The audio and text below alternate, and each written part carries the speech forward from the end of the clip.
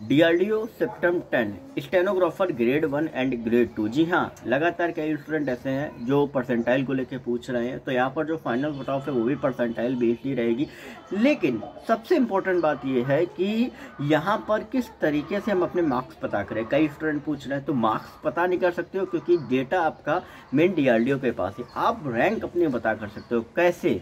क्योंकि मैंने आपको फंडा पूरा बताया था कल भी कि आपका जो भी कट ऑफ़ आपकी रिस्पेक्टिव कैटेगरी में आया है हंड्रेड में उससे माइनस कर लो, क्योंकि हंड्रेड परसेंटाइल जो है वो टॉपर स्टूडेंट का है तो हंड्रेड में उससे माइनस कर लो। जितने भी परसेंटाइल आपका आएगा, ठीक है, और उसी पर्टिकुलर पोस्ट में आपकी जो कैटेगरी में वैकेंसी है, उसको एट या नाइन से आप मल्टीप्लाई कर लो। जो कैंडिडेट्स आपके आएँगे, वो इधर डिफरेंस से जो परसेंटाइल है, वो इसके बराबर होंगे।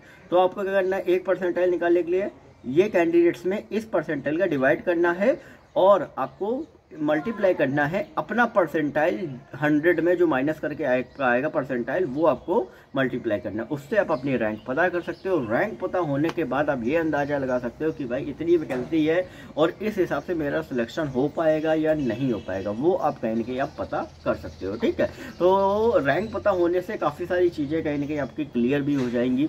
और ये मार्क्स आप अभी नहीं पता कर सकते स्कोर कार्ड बाद में आएगा। तो अभी आप सिर्फ़ एक ही काम कर सकते हो, आप अच्छे से प्रिपरेशन कर सकते हो स्किल टेस्ट की।